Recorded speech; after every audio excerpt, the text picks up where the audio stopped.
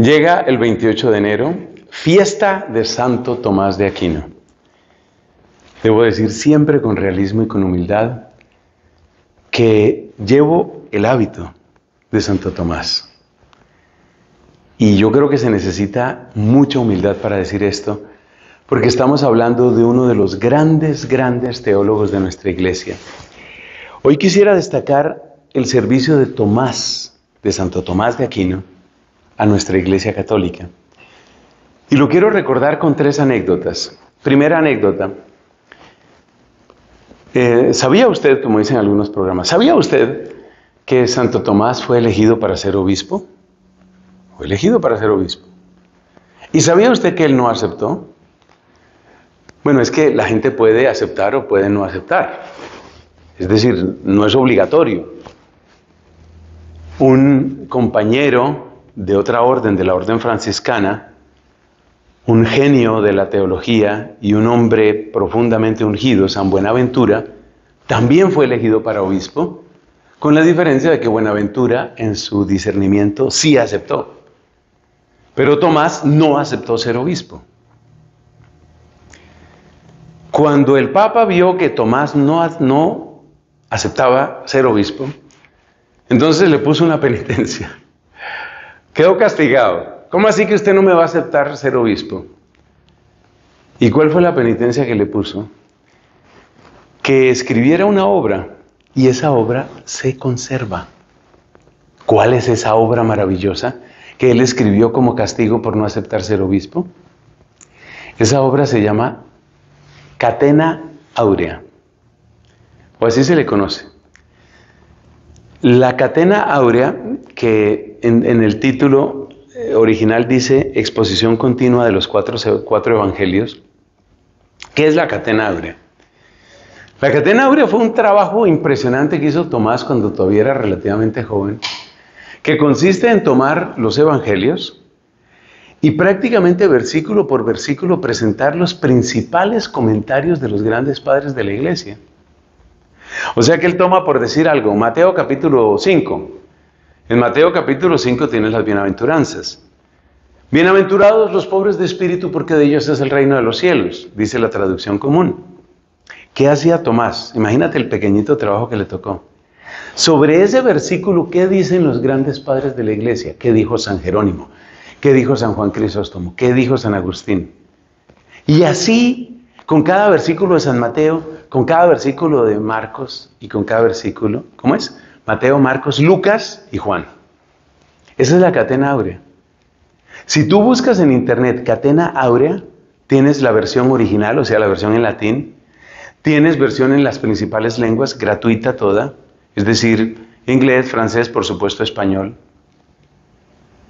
Esa fue la manera como el Papa lo castigó, se desquitó porque Tomás no le aceptó ser obispo. Segunda anécdota que nos habla del servicio de Tomás a la iglesia. Santo Tomás de Aquino nació en 1225 y murió en 1274, lo cual significa, de nuevo para vergüenza mía, que yo en este momento soy más viejo de lo que era Tomás. Eso que queda aquí entre nos. Bueno, Tomás murió entonces de 49 años pero el Papa le pidió un favor el año en el que él murió, 1274. Resulta que ese año se reunía un concilio, una gran reunión de obispos y de teólogos en la ciudad de Lyon, en Francia. Y el Papa le pidió a Tomás que asistiera a ese concilio y que ayudara en el discernimiento de qué había que hacer para recuperar la unidad entre los católicos y los ortodoxos. Tomás no alcanzó a asistir. Cuando iba de camino hacia León, ya le iba muy decaído en su salud y murió el 7 de marzo en la abadía de Fossa Nova. Pero iba de camino a León. Y para mí es muy significativo que Tomás murió sirviendo a la iglesia que murió de camino para ofrecer como una especie de testamento, una reflexión teológica, que ese fue el don que él tuvo, para lograr la unidad entre los cristianos. Tomás al servicio de la iglesia. Pero bueno, las tensiones y las dificultades siempre han existido. Y el hecho es que el arzobispo de París de aquella época, que se llamaba Esteban Tempié, eh, no quería mucho a Tomás, tenía mucha desconfianza con Tomás, y no solo con Tomás, sino con otros maestros que pertenecían a las órdenes religiosas nuevas. Entonces, aquel arzobispo de París tendió un velo de desconfianza sobre los escritos de Santo Tomás y a raíz de eso casi no se difundieron los escritos de Tomás. Se siguieron estudiando dentro de la orden dominicana y un poco más, pero realmente no se difundieron en toda la iglesia. Tomás murió en 1274.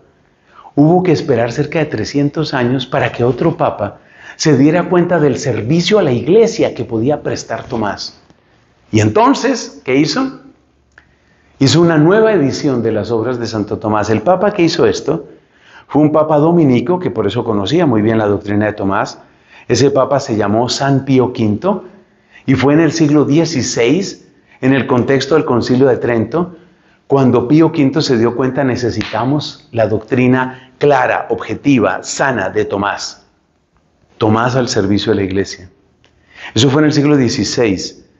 Tres siglos después, en el siglo XIX, otro papa, León XIII, saca una carta encíclica Eterni Patris hablando de la importancia de Santo Tomás y promulgando una nueva edición de las obras de Tomás que se conoce como la edición leonina por León XIII. Luego, en 1974, otro papa reconoce el servicio de Tomás a la iglesia y entonces saca una carta que se llama Lumen Ecclesiae, en 1974, el Papa San Pablo VI, recomendando la enseñanza de Tomás. No hay ningún teólogo que haya sido tan recomendado por los papas porque han visto en él un verdadero servidor de la iglesia.